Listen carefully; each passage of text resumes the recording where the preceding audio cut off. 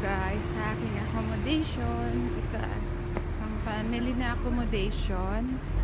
Bali yung hospital namin is nasa Alusha. Tapos yung accommodation namin sa exit 5. Exit 7 yung Alusha. So,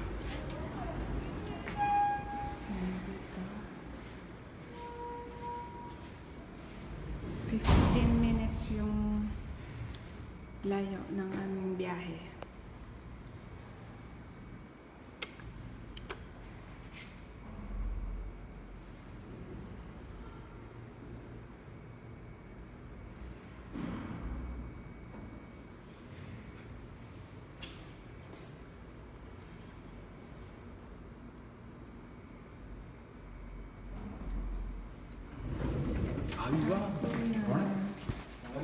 Fine. lower.